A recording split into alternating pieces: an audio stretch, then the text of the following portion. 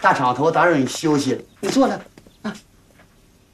上这买点菜，没买回去，人还给扣着了。你孩子小，他做不了主啊，没办法，我让您过来了，叔啊。跟他咋说的？我说家里来客人，让他看着办。嗯，这就是你干活有问题了。你让他看着办，他想把这店都卖咱们。你闹笑了，能吗？这都是啊，这不都是吗？有老根专用。今后别整这事，行吗？这不档次吗？啥玩意儿我专用啊？我这点名声快被你霍霍完了。就买个菜专什么用啊？啊？你不跟大伙区分开？我区分开啥呀？我不是人呐！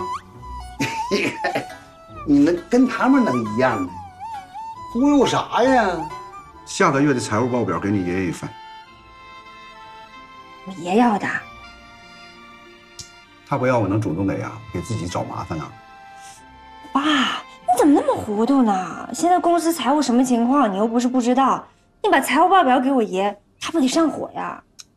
让你来就是想找一个不让你爷爷上火的办法，把给你爷爷那份财务报表利润比去年提高百分之十五。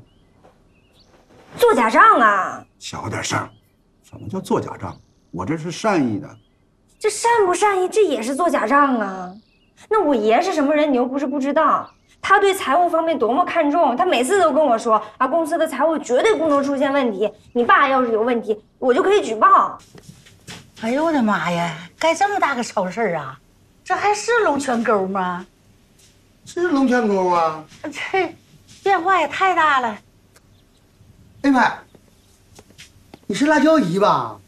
啊！你把我认出来了？是吗？你瞧这，我这些年没回来，还把我认出来了。